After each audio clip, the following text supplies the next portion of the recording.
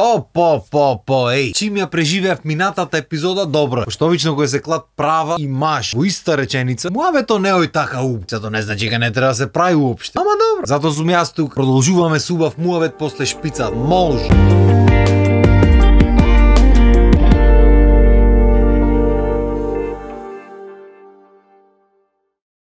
Минатата емисија рековме дека мажите не памтат. Едноставно не ги врзват нештата или моментите со емоции и тие мемори не се вдлабнуваат внатре во мозок. Пентиум двојка бе, Пентиум двојка. Знаеш што уште не прат мажите? Не знаат да читат мисли. Не знам кој требало да го слушне, ама еве слушнете. Значи мажите не се видови, далеку од. Многу пати да ни нацрташ нешто нема знаеме да го види. Тоа. Камоли да знаеме што вие размислувате во моментот. Што жените се тука интересни. Така ти речи едно нешто, што нема благе везе со ништо, ма очекува ти да сватиш што сака та да каже или ќе направи нешто суптилно, минимално и ти тука треба да сватиш цела приказна врат. Цел начин на размислување треба да ти дојди неизин во, во твојата глава. Не рекош што размислува та цел свет размислува и исто така не значи. Прост пример. Минатата емисија ги спомнав цвекиња. Пример жените ова често го прават. Ако сака да му купиш цвеќе, а нема ти речи купи ми цвеќе, како што би требало да речи. Туку на пример ќе земи TikTok ќе ти пушти со цвеќиња. Или ќе одите негде ќе речи леле шубај се цвеќињата. Добро, тоа е веќе малце подиректно. Понедиректно може да биде, а ти покажи слика од нешто и ти речи виши му е суредено со цвеќиња, со слики, со чуда. И од то треба да сватиш дека утре треба да му купиш цвеќе, ако не и вечер. Не знам оти жените мислат дека мажите се видовити, ама добро. Еве јас сум тука, ви кажам дека не сме. Нешто не сме видовити. И тие две очи што ги имаме не ни гледа. Ако вие си мислите кој што си мислите таму. Еш колку пати маш ќе застани вака и во ништо не се гледа. Жените то нема да свата. Абе ништо вака дремиш нигде гледа. Пред тебе има милион ствари ти во ништо не гледаш матно ти е се, само си дремиш исклучен си. То на жените не му е јасно. Не се загледа бе. И ќе пробва да видиме, сваѓаш. Како да му кажеш ти дека се гледаш, меѓу дрвото и точакот подпрен, низ нив, меѓу зградите потам, меѓу паркинзи до недоглед. Знаеш кој ги ти поверва жена на тоа? Никога. Уживај батули. И ти му нигде. Што да ти речам, кај се гледа. Прво јас не знам кај се гледа. Ама како можеш нигде да се гледа? И текнува на таа епизодата со мозоците? Е таа е таа кутијата, ништо кутија што е кај мажите во мозок. Значи од време на време самиот мозок си оди таму чклап и толку. И од таму излезено тоа и ти речеш што правиш брат? Ништо. Тоа е тоа. Ама то ништо понежниот пол не може да свати. И затоа многу пати мажите се прашваме како може од ништо кавга да биде. Може. Гледаш како може? За тебе од ништо. За неа од милион работи. Оти да дури си ти во ништо кутијата та има милион табо отворено внатре да разбери што гледаш, ме сваѓаш кај ти е мозок ојде. Како може мозокот да не ти е со неа тука? Како се осудуваш уопште? После од ништо кавга. Не од ништо. Ако ти не разбираш, остај ти да работи. Иако никогаш нема да го разберат то, жените со тек на време како да се навикнуваат некако. Не си поминал години со некој, не знаеш што е работата, ама тоа е са таков е. Зато многу пати кои си видите по дома, татко ти оптегнат негде или работи нешто, мајка ти му збора, појма нема дека му збора некој влезене во ништо кутијата и работи. Механички функционира. И ќе види мајка ти дека не ја регистрира или ќе мрдни нешто со рака, со глава, или ќе си замени, или што е најчесто на Балканот ќе му речи, тоа е тоа. Така што батина не се секирајте, поминва и то. Не се цел век жените така. И сега ќе се најди некоја дама ќе речи, јас стално му велам на мажот ми, па пак не ми купва. Директно му велам и не ми купва. Точно, оти ќе речи. Оти мажо е маж. Значи тој се што сакаш ќе направи. Не мора ти секој 6 месеци да го подсеќаш. Така, оти времето е релативна работа, ме сваѓа. Пример ќе ви се расипи е рачката од вратата, речи. Ти викаш на мажот дечкото шо и да е рачката да се расипа направи. И тој ти речи добро ќе направам. Јарно, ама поминват неколку месеци рачката уште не е направена. Ти пак му вели. Тој ти вели добро ќе направам. И да знаеш дека ќе направи. Кога ќе направи не е битно. Жените мислат дека ќе речат сега ова вака и сега мора во моментот ова вака да биде. Е таа е таа еднаквост. Приоритетите на жената мора да бидат приоритети на мажот, а приоритетите на мажот мање више не постојат. Што има ти приоритети да? Приоритети таму на младост. Сам некојаш кој ќе си. Сега единствен приоритет ти е да биди срекна жената. Оти ако не е срекна жената, со здравје си го носи. А како се прави жена срекна? То никој не знае. Зам сите знаеме по нешто. Знаеме како да ги усрекиме, ама ништо то не е долгорочно да речеш е сега следните 2-3 години има среќа, леле мајко. Не постои тоа. Значи рачуне дека шо и да си направи. Шо сакаш направи. Супер е одредено време, после тоа па треба направи. Што значи ако го освоиш цел свет и ако му даеш вака враце, рачуне дека следно универзумот треба да го освои. Сега јас овде претервам, нема врска. Ама пример вели. Зато ќе си бараш личност со вредност. Личност што ќе е задоволна само со твоето присуство. Со ситници неко. Ти Тие луѓе што се задоволват само со материјални работи, кога тогаш ќе престанат да ги добиват и тоа е. Толку е муабет. Машко, маш мислиш ќе купиш ни чевли ќе поминиш на ред. Ех, море, еш колку чевли треба? А може само една шкикла. Што има тоа врска? Ти мислиш така ето? И та со секој чевли треба да има чанта иста боја. Со секоја чанта треба да има јакна иста боја. Имаш зимски јакна, есенски, пролетни. Лето немаш многу работи освен купач. Што мислиш ти со истите купачи секоја година на одмор ќе соди? Ебе батуле, неколку рала купачи годинава, неколку следната. Што има врска што немат благи везе местата кај шојте нема одење со исти купачи слики треба да се кла. Ако тргниш по та патека крај нема муабет. А бога ми кој гледам денешните млади деца, не е нарно муабет. Фала богу чест на исклучоци. Значи од се што правиме муабет има исклучоци. Ама ако влезиш во некоја таква приказ, кај што треба прави жена срекна исклучиво на таков некој материјален начин. Се што можеме ти речеме, секој савајле кој станиш, кога во WC да си измиеш раце лице, опули се во гледало и направи си еднаш ваха и ваха еднаш направи си терај после работа. Пошто та првата чанта што имаш купено црната веќе стара е, треба да се купи нова. Тоа е. Вака го е прав муаве, кој ми текни што се има. Сигам фала Богу што не се сите из. А за разлика од жените, мажите во глобала не му треба многу за да бидат среќни. Пак ќе речам зависи кој има исклучоци, се има, што нема по светот. Ма во глобала, се што му треба на маж да е среќен, е уба храна, тро мир во теко на денот и личност што ќе може два збора муавет да си врзе. Да не мора кога ќе дојди дома да биди. Кај си до сега? Оти не си дојде право дома од работа. Како на кафе со другари? Само ти на кафе ќе јас не ќе додам. Мене ме праша, толку ти е гајле за мен. Масло купи, леп зеде, значи клучи го тој транзисторот да ти работи, на ништо не мислиш со та глад. Само јас на седа мислам. Јас прам јадење, јас перам, јас пеглам, децата јас земи ги однеси. Тој само на работа и дојди дома легне.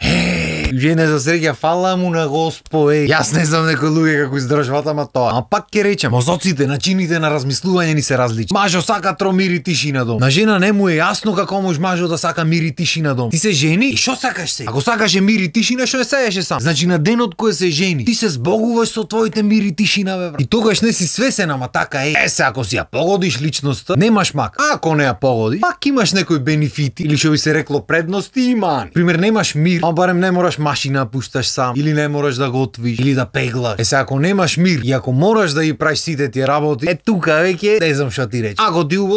На крајот на денот и мажите и жените треба да сватат дека кога ќе влезиш во нешто вакво, во некаква заедница, огромен дел од сите навики што си ги имал ќе мораш да ги смени. Не може поке другарите да бидат приоритет. Сега имаш една друга личност што ти е најбитна во животот. Зато тоа не значи дека скрос треба да ги отфрлиш другарите. Ама приоритетите се мену. Што не важи кај жените, може да малце, ама претежно не важи. Пошто нема врска, то не е исто. Ако таа доди тромуавет да си направи. Ти шо варе? Или на пример ќе сакаш нешто си купиш нешто. Не знам, точак ќе да речи. Или ако си модерен од овие тротинетите сами што возат. Влезе во некоја ваква заедница. Чекај се малце. А зошто ти е тебе точак тротинет? Што ќе фрламе пари за то треба иднина да се рачуна да се планира. Безпотребно пари фрлени не ти требате. Што ќе купуваш точак за да возиш, да не трошиш нафта, да тренираш. Ко можеме да купиме елка и дзунзурки новогодишни украс. Дупло поќе што кошта. Во ни феднината. Приоритети ват. Ја си мислеше исто примери за вежбање. Се жени, живееват. Вежбањето е за некои млади дечки што треба женски ја бркат. Така ти за кој вежбаш? Ма јас за здравје вежбам. Убо ми е на душа да тренирам цело време, цел живот тренирам и убо ми е кога вежбам. Што има врска тоа што ти убо со вежбање? Дали ти е убо или не ти е, не е прашањето. Прашањето е оти вежба. Така, нема се брат, се оиш на работа и се враќаш дома, тоа е. Башка скапи се сега теретаните. Треба иднина планираш, треба штеди. Што има врска го коштат колку е на пудр? Колку едно ти е милион шишенца што ги гледаш дома на изин. Тоа е брат. Приоритети се во прашање. Исто така ние мажите, не можеме да се понашаме исто дома и надвор. И стално на пример кога се задлабочи врската малце, женските идат до заклучок дека поинакви сме кои сме со другарите, а поинакви сме кои сме дома. И во секоја врска кога тогаш татема паѓа на муаве. За пример оптегнат дома го крап, жената ти дава чипси од рака му јадиш. Порано со грозје ги ранеле кралоите, барем така на филмоите гледав. Менешно време чипси, смоки, нешто пуканки. Жената те рани ти јадиш, од рака му јадиш. Си имате нека уба хармонија тука. Со милозвучно зборање со сите марифети романтики ме сваѓа. И од нигде никаде женскати. Ама ти не си ваков кога си со другарите. Те знаат другарите што лигуш си кога си дома? Не, не ме знаат другарите. Тоа е поентата на муабет. Ако требаше да ме знаат каков сум кој сум со тебе, тука ќе беа до нас, меѓу нас ќе беа седнати ќе ни земаат чипсите. Значи поентата е со тебе да ми е најлабаво, најубаво да ми. Да можам што сакам, а ти речем како сакам, а се понашам. Да си направиме еден наш свет. Не треба тој наш свет сите да го знаат, нашето. Како може маж да се понаша исто со другарите, кој што се понаша кога е со женска му или жена му? Шо машето? Значи маж кој излези во јавно. Тој е мажо во куќата. Уж дома не сме да писни. Нема врска. Тоа е тотално небит. Битно ќе излези пред луѓе, тоа е главни. И за сигурно ќе се најди некој мажиште што ќе речи јас сум сегде и јас кажувам тука. Така е. Нема збор за тевате. И пошто јас сум мажо во емисијата овде, јас кажувам колку утре емисијата. И јас велам